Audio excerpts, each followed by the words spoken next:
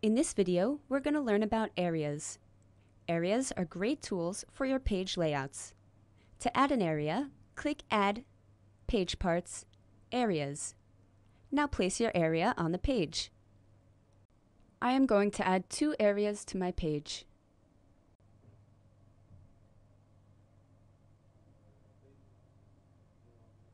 Now go ahead and add content, like text and pictures, to your areas. Place the content completely inside your area. You'll see the yellow arrows at the edges to let you know.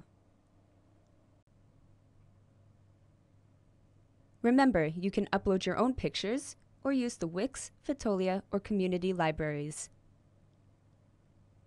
Resize your images to fit. Now you'll notice the area masks your content to match the edges of the area. This allows you to create a clean and professional page layout. Another cool thing about areas is that they are sticky. Anything you place in them will automatically group together.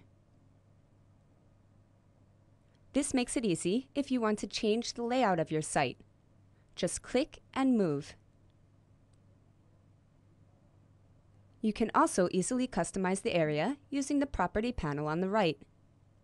Change the background, colors, and more. You can also replace the skin. To do that, click on the area and click Replace. Choose the skin you want to replace it with, and that's it. Now you can give areas a try on your own.